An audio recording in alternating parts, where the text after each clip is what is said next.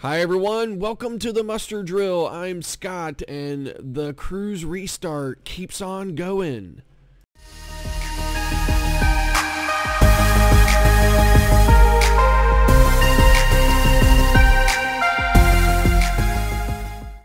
Hi everyone, welcome back. So there's a lot going on with um, the cruise restart right now. I mean, I'm really, really excited about a lot that's happening. So um, I want to start with uh, Royal Caribbean had responded to an update or a clarification from the CDC on uh, on accepted vaccines. So I'm not really sure how many people from the U.S. fall into a category of where they have gotten a mixed um, vaccination or mixed, you know, vaccine manufacturers uh, for COVID. I mean, now, I mean, I have heard and I have seen the stories where, you know, sometimes I even saw, I think I even saw a TikTok or something where somebody had said that you know, they got one dose of uh, Pfizer and one dose of Moderna. So in any event, I'm not sure how many people fall into this category, but in any, uh, you know, I guess there are, you know, some people who do. So the CDC is now saying that if you've gotten, you know, one dose of either or of the mRNA vaccines, you will be considered fully vaccinated and therefore at least at the moment Royal Caribbean is the first cruise line to actually come out and announce that they'll be accepting, you know, a vaccine card that shows one of two, you know, I mean like one and the other mRNA vaccine, so Pfizer, Moderna, Moderna, Pfizer, whatever. And of course, they've always said that you know because the J&J vaccine is a you know is a one dose, they've always said that you were considered fully vaccinated 14 days after your last you know your first and only dose of J&J. Now I guess there are some people who have gotten the J&J and then went and got like a Pfizer dose or whatever after that. And I think there is clarification in the FAQ on Royal Caribbean's website that actually says, hey, if you got a shot of J&J and then you got like Pfizer or Moderna, um, you know, that's accepted too. But that's really not has it really has nothing to do with the second mRNA vaccine for those J and J people, just because J and J is a one-shot thing, so they consider it, you know, fully vaxxed after after that first shot anyway. So, um, so yeah, so you know, with all of that said, now there's no I no no word yet from any of the other lines as to whether or not they're going to do that, but I would expect that they are going to do that because I mean, why not? I mean, the CDC says it's okay now, so our you know RC Royal Caribbean is just the first one to actually be able you know actually come out and and make the you know the announcement public. So that kind of leads us into um, you know, it leads us into kind of the next thing I wanted to talk about, which is the um, you know the travel ban being you know lifted uh, by the United States. So you know they haven't fully announced it. I believe that they're going to announce it on the 27th of um, of September. Uh, so um, you know on Monday.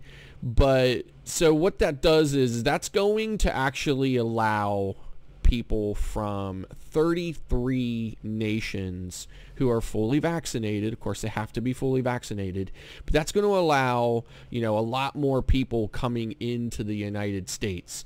So, um, and so you know, with that said, that they have to be vaccinated, the you know the CDC is working with the World Health Organization or the WHO to you know I guess determine based on you know efficacy data and things like that, like what vaccines out that that are being administered outside the United States will actually be considered acceptable to you know you know for those people coming in. So um, um you know it's the list isn't obviously very long. So it is, you know, Pfizer and Moderna. So I guess those are available, you know, in places outside the U.S. AstraZeneca. So before I like say any more of that, I mean, you might remember that there was some issue with AstraZeneca, you know, early on in the pandemic, and I don't have a lot of specifics about it, so I'm not going to really go into it. But um, the the information specifically lists like it doesn't just say AstraZeneca. So it says like there's this vaccine called Covishield. So um, Covishield, and then it says that it's like a formulation of AstraZeneca. I'm not exactly sure what the deal is with that, but it doesn't say like it's a formulation of AstraZeneca and this other, you know, vaccine. So who knows? But in any event, it's called Covishield, and then there are two other ones called uh, Sinopharm and Sinovac. Um, I assume that those Sinopharm and Sinovacs are from Asia. I'm almost positive those are from Asia. So in any, you know, so you know, Asia's part of the you know the they're going to be lifting the travel ban on China I think at least specifically so and I believe those are the Chinese vaccines.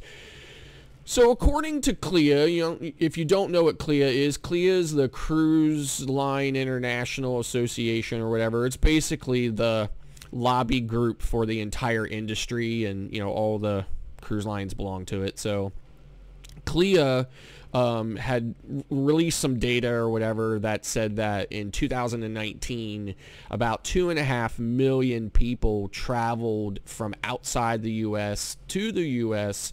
specifically to go on a cruise. And of course, they release all kinds of data about, you know, all the, you know, so all the money that, you know, they spent in all the additional places, you know, hotels and restaurants and all this other kind of stuff. And, I guess that creates like 60,000 jobs and stuff in those industries and so forth. So obviously that would be a boost to the industry. The restart is going well and you know we know that you know the ships are sailing at a limited capacity for right now. So um, but they do uh, you know they do plan to increase that capacity all the way back up to you know full capacity again. So this I think will, you know, kind of play into that plan for them so that, you know, they'll have these additional people from these 33 nations. You know, it's going to be basically all of Europe, UK, India, Brazil. You know, I don't know how many in people from India or Brazil are coming to the U.S. to cruise. I don't have those numbers, but I do know, and I don't have specific numbers for anything really, but I do know that, you know, from Europe and Asia, those numbers are definitely bigger than, say, India or um, Brazil. But in any event, um, so yeah, so that's, you know, going to help the industry and kind of play into their plans to, you know, increase capacity on the ships as they move throughout the rest of 2021 and into 2022. So, um, you know, that's great news. And of course, you know, those people coming in will have to be vaccinated. So, you know, that's even better news.